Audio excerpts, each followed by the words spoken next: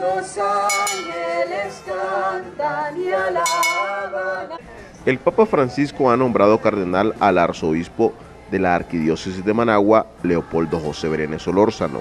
Cinco nombramientos en Latinoamérica y el segundo en la historia de Nicaragua. El sexto en una lista de 19 nuevos cardenales, que durante el Ángelus el Papa Francisco dio lectura.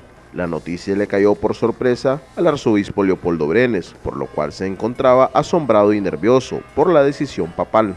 Ahora acepta el reto y seguirá sirviendo como el pastor que todos conocemos. Este domingo, como parte de la celebración en honor a Cristo Rey, el nuevo cardenal visitó Jinotepe, donde muchos feligreses lo recibieron con alegría.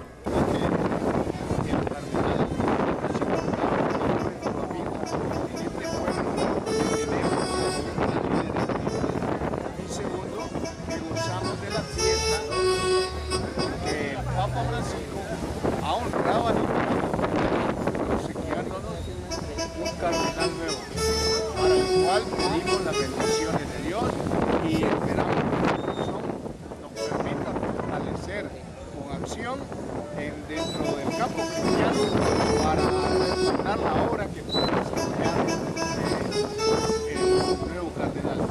Y qué bonito, ¿verdad? Hoy en la mañana hoy mismo tenerlo acá entre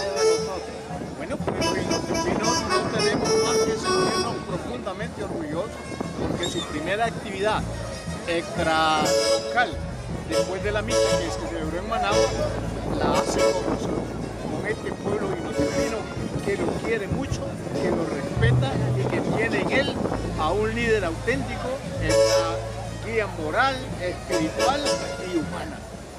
Luego de un recorrido desde la parroquia San Antonio de Padua, el nuevo cardenal ofició la misa campal en el atrio de la parroquia Santiago de Jinotepe, celebración que correspondía a esta zona de la arquidiócesis de Managua que dio inicio el primero de enero de este año. Para el 22 de febrero de 2014 será oficial el nombramiento del cardenal y que desde ahora celebra toda la Iglesia Católica de Nicaragua, puesto que nuevamente tendremos un representante en el Vaticano como asesor de su santidad Francisco, después que el cardenal Obando pasará a jubilación. Desde Ginotepe, Carazo, para más noticias en menos tiempo, este es un reporte de Francisco Rojas Sandino.